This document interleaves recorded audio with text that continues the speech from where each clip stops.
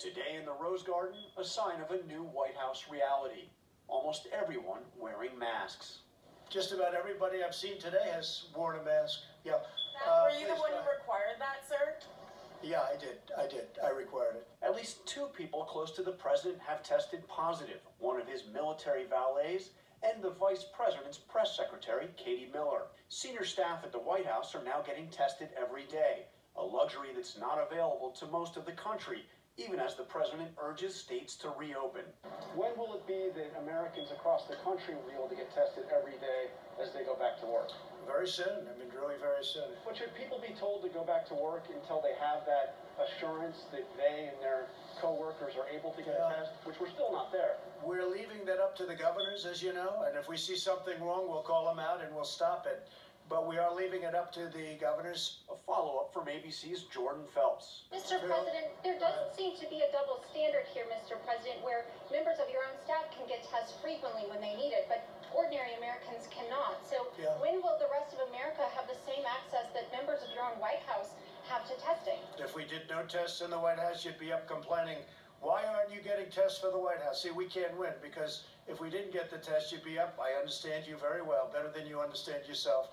And frankly, if we didn't get tests done, you'd be up complaining. But the president also insisted this. If somebody wants to be tested right now, they'll be able to be tested. If I can just uh, get a clarification on the on the testing, we've seen clearly that the numbers of tests have gone up. There have been some advancements in testing, but you said twice here today that every American who wants a test can get a test. Yes. Uh, that's not the case. 1.9 million tests per day is far short of every American that wants a test to be able to get it. Well, I'm get going to have the Admiral, but I will say just from listening and hearing like you do, we all do, not everybody should get a test because they have to have certain things and they're going to know when they're not feeling right. Those are the people that will be getting the test. But Admiral, I'll let you take it from there, please.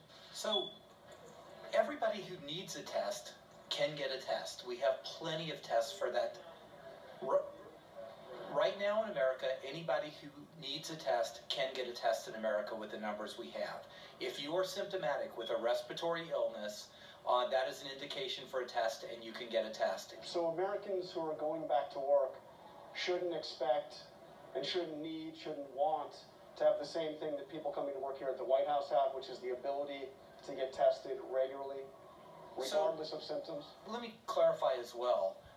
People who come into close contact with the president get tested on a regular basis, okay? If I were not in close contact with the president specifically, I would not get tested. The press conference ended with this tense exchange.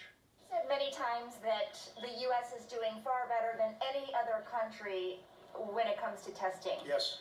Why does that matter? Why is this a global competition to you if every day Americans are still losing their lives and we're still seeing more cases every day?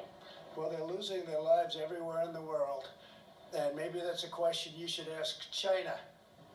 Don't ask me, ask China that question, okay? When you ask them that question, you may get a very unusual answer. Yes, behind you, please. Sir, why are you saying that to me specifically? I'm telling you, I'm not saying it specifically to anybody. I'm saying it to anybody that would ask a nasty question like That's not that. a nasty Please question. go ahead. Uncomfortable moment late in the day at that press conference in the Rose Garden. Let's bring back in John Karl live tonight because John, in addition to being asked if American workers, you asked this question, should have same access to tests as the White House, the president was also asked today uh, if, as a precautionary measure, if he would separate himself from Vice President Mike Pence, of course, whose press secretary has now tested positive. And David, he said that he has not been with Pence since that positive test came in on Friday. I am told that the vice president spans, uh, plans to spend another day or two away from the president, and assuming he still continues to get negative test results every day, he will be back with the president and at the White House by the middle of the week.